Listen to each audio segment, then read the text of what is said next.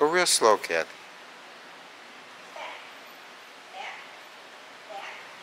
Good, good.